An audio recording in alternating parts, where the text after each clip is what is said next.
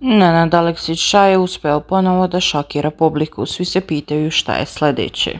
Već mjesecima unazad odnos između repera Nenada Aleksića Ša i Mione Jovanović bio je predmet velike pažnje u javnosti. Njihove svađe su često postajale viralne na društvenim mrežama. Međutim, nedavno je došlo neočekivanog preokreta nakon što su mu voditelji i cimeri jasno stavili do znanja da preteruje u ljubomori i posesivnosti. Reper je odlučio da promjeni pristup i pokaže Mioni da može da bude drugačiji.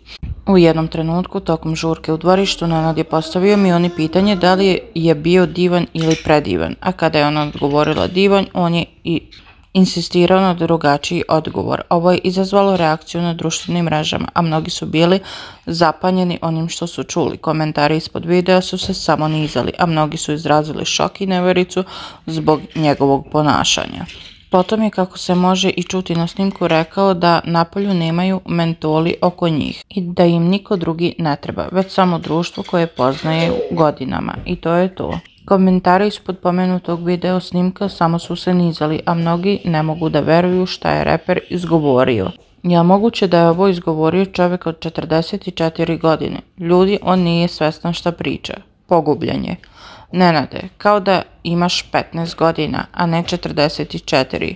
Ovako ni deca u vrtiću ne pričaju. Presmišno. Meni je blam ovog dečka. Bili su samo neki e, komentari od šokiranih fanova.